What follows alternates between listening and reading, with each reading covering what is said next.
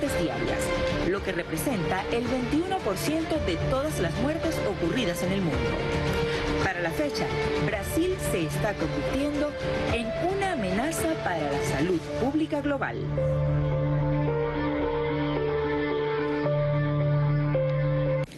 Muy buenas noches para toda Venezuela. Con el permiso de ustedes me voy a retirar la mascarilla para dirigir estas palabras. Hemos querido que el pueblo de Venezuela esté ampliamente informado de la situación de la hermana República Federativa de Brasil. Lo que ha venido ocurriendo en el año 2020 desde la aparición de esta pandemia y cómo Brasil se convirtió en un epicentro de la pandemia por COVID-19 en el mundo entero. Una situación que se vino agravando. Se vino agravando en razón de una política negacionista, de una política indolente por parte de su presidente, Jair Bolsonaro, que como ustedes bien vieron en ese video, bueno, sencillamente siempre negó y ha negado la existencia, la implicancia, la dimensión de este virus tan terrible como es el COVID-19. Como ustedes bien saben, el 9 de enero del 2021, Brasil formaliza ante la comunidad internacional la aparición de una nueva variante, la variante P1. Esta variante, el presidente Nicolás Maduro el 4 de marzo, responsablemente se dirigió al país para informar que habíamos detectado los primeros casos con esta variante y con la variante P2 en Venezuela. Informar responsablemente, como le corresponde a un jefe de Estado que está atendiendo la vida y la salud de su población. Esta variante, como ustedes bien saben, y hemos estado compartiendo información, es una variante hipervirulenta. Yo quisiera mostrar en pantalla las láminas que indican cómo a partir de la aparición de la variante P1 en Brasil, los casos se multiplicaron en un 70%. Por eso se refiere que es una variante muy contagiosa, hipervirulenta, multiplica el número de contagios que normalmente veníamos conociendo con la cepa del COVID-19.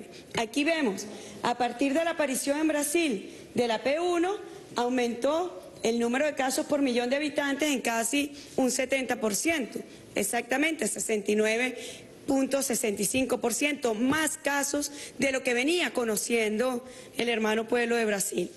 De igualmente, multiplicó en un 60% la ocurrencia de muertos a partir de la aparición de esta variante P1 en razón de que al multiplicarse la tasa de contagio, también se multiplica la tasa de fallecimiento.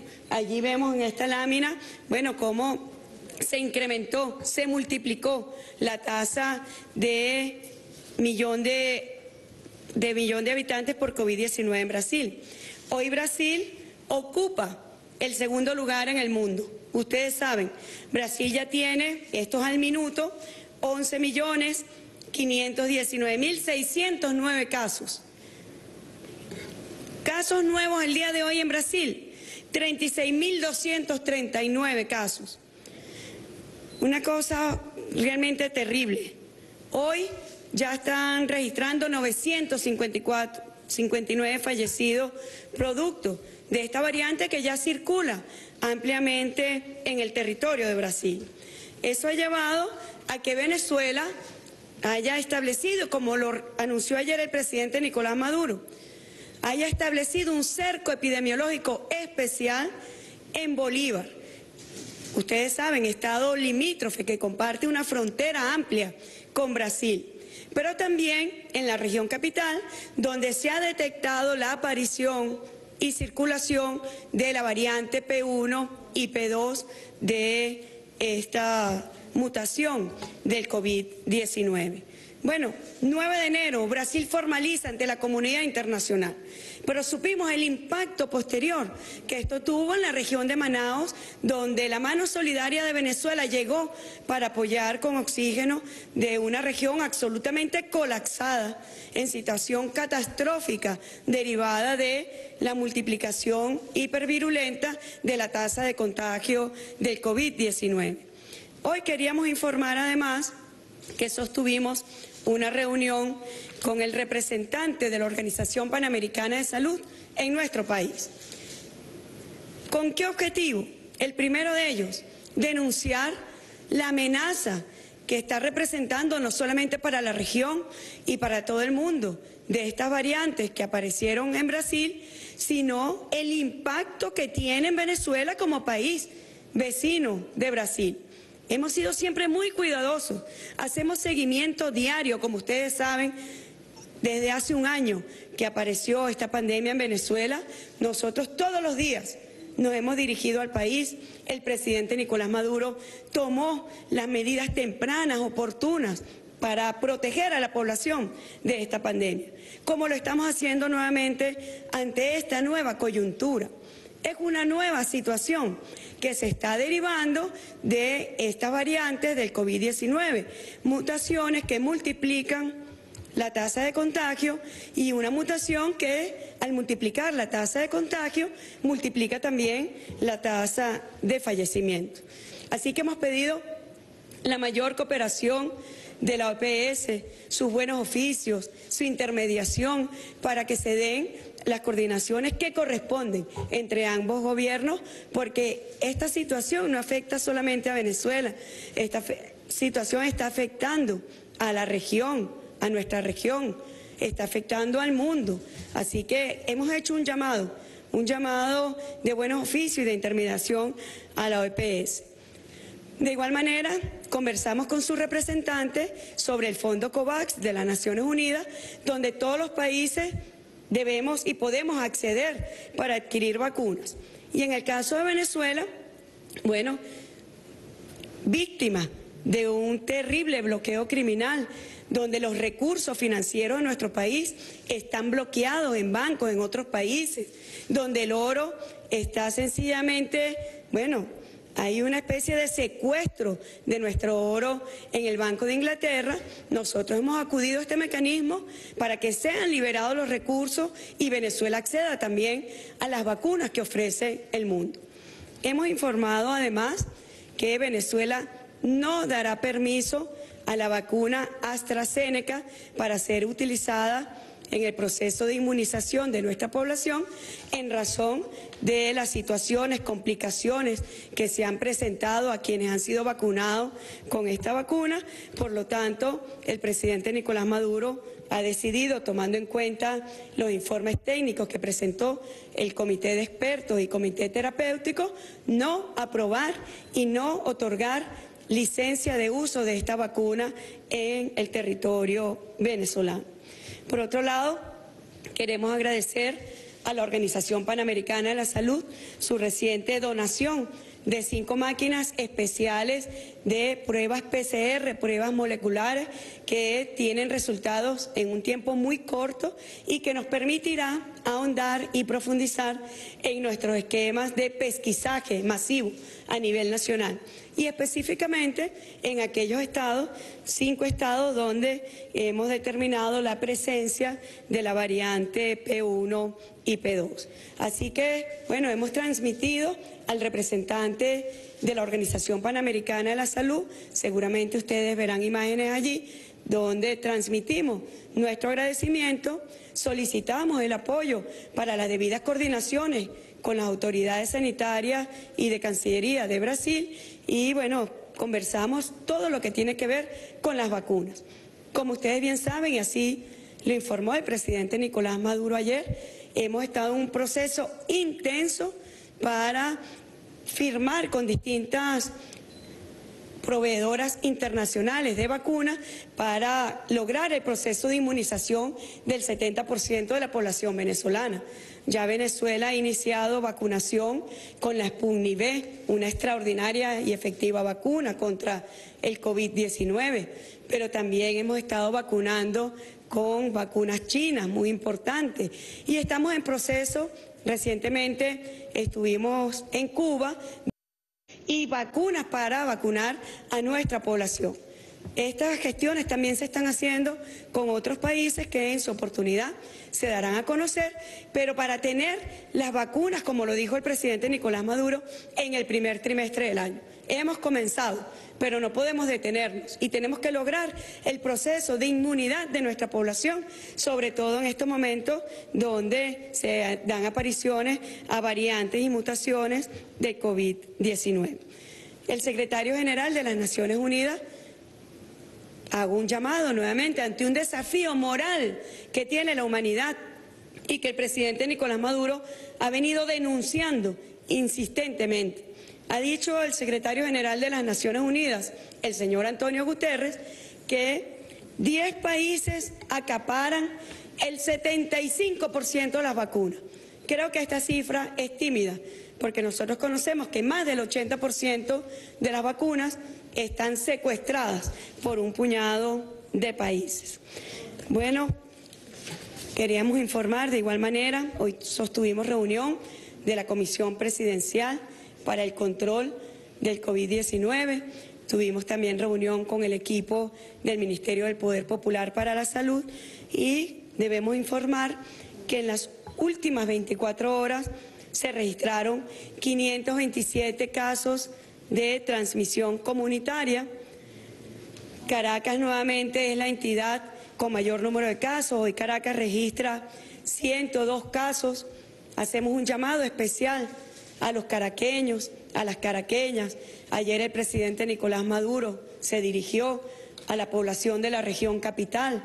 Tenemos que tener conciencia, tomar medidas especiales de prevención no podemos descuidarnos, no podemos relajarnos, debemos seguir en ese proceso que ha permitido que Venezuela mantuviera en una meseta su tasa de contagio.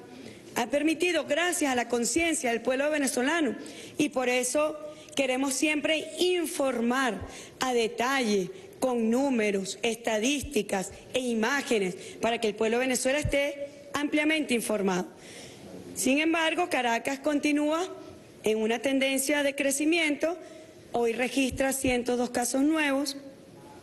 Miranda registra 90 casos nuevos. Monaga 61 casos. Nueva Esparta 56. Yaracuy 45. Guárico 42. La Guaira 33. Aragua 28. Carabobo 20. Falcón 17. Cogede 7. Zulia 7. Sucre 5. Lara 5, Mérida 4, Barinas 3 y Anzuategui 2 casos. Son 527 casos de transmisión comunitaria. Hay medidas especiales, como lo dijo el presidente ayer, para la región capital. Hoy Venezuela toda entró en el esquema del 7 más 7, pero particularmente el Estado Bolívar y la región capital mantenemos medidas especiales de bioseguridad en lo que tiene que ver con el transporte, en lo que tiene que ver con horarios de apertura de entidades bancarias, siempre cuidando en los sitios de concentración pública que se mantenga el distanciamiento físico entre una persona y otra, que jamás abandonemos el uso de la mascarilla. Ayer el presidente lo dijo, esta semana tuvimos contacto con personas que estaban positivas. ¿Y qué nos salvó? el uso de la mascarilla. Es fundamental. Es lo que puede hacer la diferencia entre un caso de contagio y que no nos contagiemos. Es muy importante. Como dice la consigna, si yo me cuido, te cuido y si tú te cuidas, me cuidas. Todos debemos cuidar.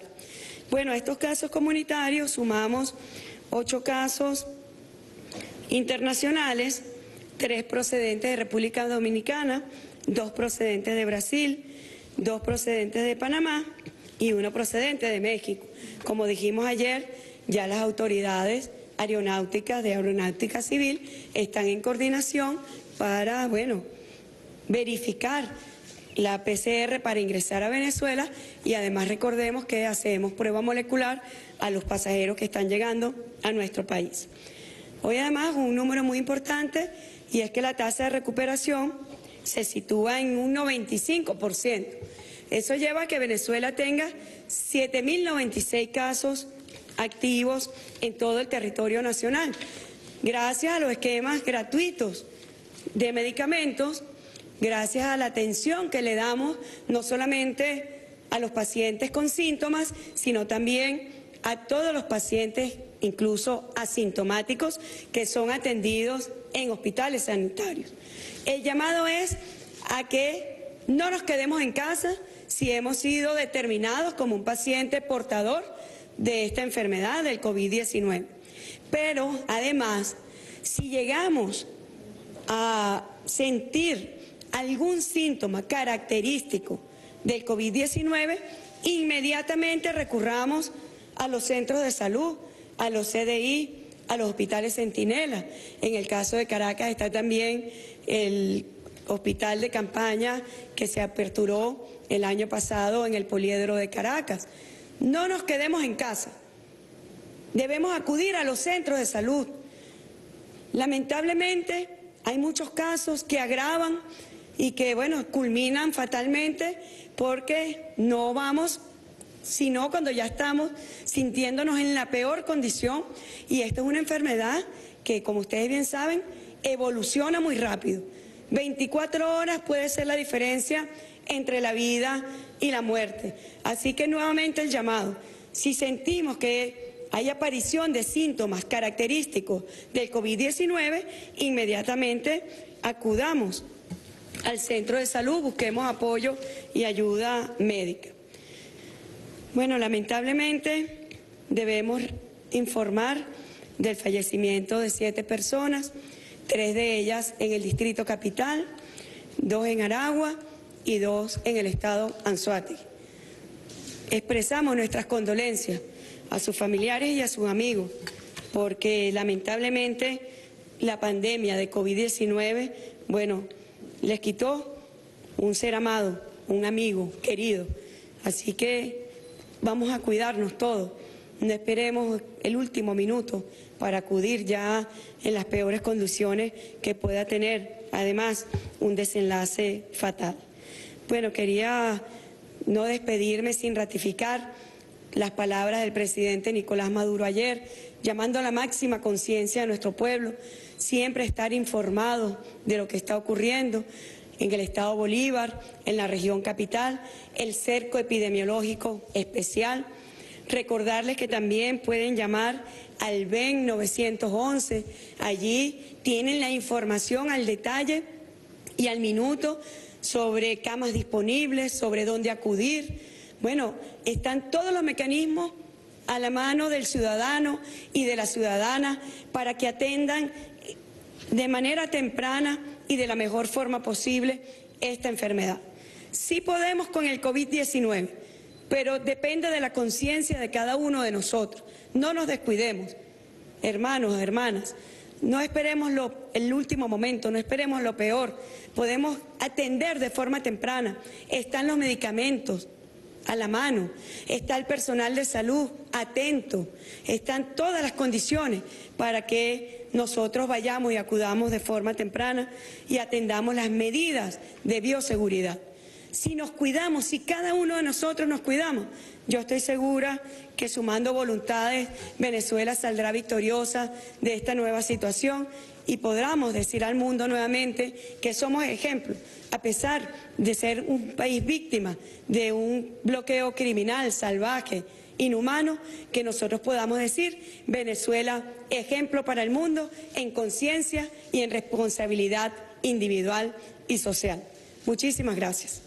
Escuchábamos a la vicepresidenta ejecutiva de la República, Delcy Rodríguez, con el balance de la Comisión Presidencial para el Seguimiento, Atención y Control del COVID-19. Ha dicho que en las últimas 24 horas se han registrado en el país 527 nuevos casos de origen comunitario, siendo el Distrito Capital la entidad que registra el mayor número de casos con 102. Asimismo, ha informado de ocho nuevos casos de origen importados. Asimismo, exhortaba a la población a acudir a algún centro de salud cerca a su domicilio de presentar algún síntoma característico del virus por el COVID-19. Es la información que compartimos a esta hora con ustedes y con ella retornamos el contacto. Adelante.